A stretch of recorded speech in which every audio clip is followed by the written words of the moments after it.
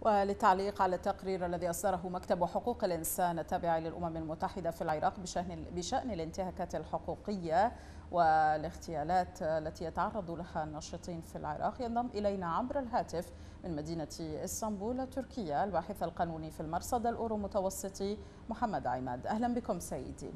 أهلا وسهلا بكم. اعتبر مكتب حقوق الإنسان التابع للأمم المتحدة الاغتيالات في العراق إسكاتا متعمدا للأصوات السلمية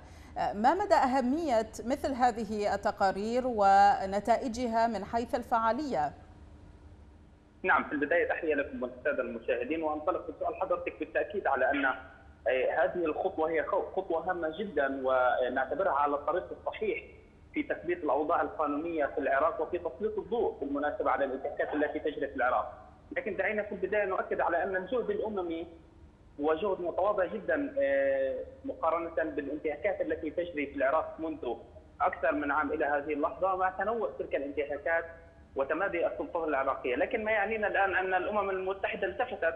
إلى العديد من المطالبات التي قمنا نحن وغيرنا من المؤسسات الحقوقية بإرسالها والتواصل معهم بشكل دائم ومستمر من أجل تسليط الضوء على هذه الانتهاكات وكما أسلفنا هذه الخطوة الأولى في الطريق الصحيح من أجل تسليط الضوء على هذه الانتهاكات ونتمنى أن يتبعها وهذا ما نتوقعه أن يتبعها خطوات قادمة في موضوع الملاحقة القانونية.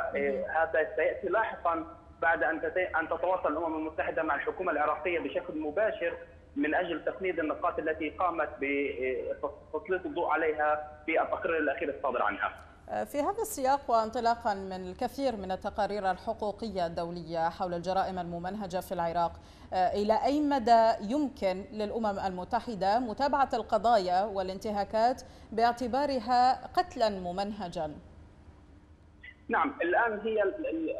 المنطلق سيكون بالتعاون بين الحكومة العراقية ومكتب الأمم المتحدة وبالتالي نحن في البداية نتحدث أن يكون هناك خط اتصال دائم وتعاون بين الحكومة العراقية وبالمناسبة هذا الأمر لا نتوقعه بشكل بشكل كبير كون أن هناك كان مطالبات عديدة من قبل بعض المسؤولين داخل الأمم المتحدة بشكل غير رسمي وأيضا من بعض المؤسسات الحقوقية ومن ضمنها المركز الاورو المتوسط لحقوق الإنسان عندما تواصلنا بأكثر من مرة في أكثر من وقت وأكثر من انتهاك مع الحكومة العراقية بشكل مباشر ولم نتلقى أي رد. وبالتالي الآن يقع العاتق الأكبر على الأمم المتحدة في إيجاد آلية التواصل بشكل مباشر من أجل البدء في هذه الملفات، لكن عند الحديث عن هذه الملفات فملف الانتهاكات العراقية هو ملف مليء بالانتهاكات. نحن نتحدث عن الاعتقال التعسفي والاختطاف خارج القانون، أيضا قتل المتظاهرين وقمع التظاهرات وأيضا ملف الأشخاص المهجرين داخليا والذي لا لا تتناوله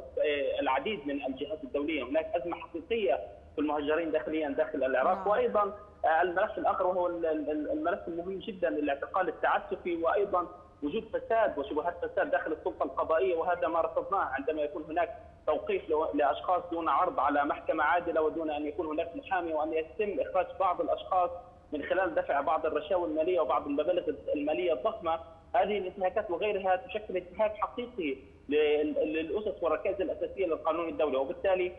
هذا الملف الضخم يجب أن تتعامل معه الأمم المتحدة بشكل تسلسلي لكن ما نعول عليه أو ما نتمناه بشكل أساسي أو بشكل أولي وفوري أن يكون هناك دائرة اتصال حقيقيه تضمن تعاون الحكومة العراقية مع مكتب الأمم المتحدة والجهات المتفرعة من أجل اولا بحث الانتهاكات التي تم تنفيذها على يد القوات الرسمية والقوات الخارجه عن القانون داخل العراق ومن ثم الانتقال إلى ملف موضوع المساءلة القانونية وتصحيح وتقويم الأوضاع القانونية داخل جمهوريه العراق.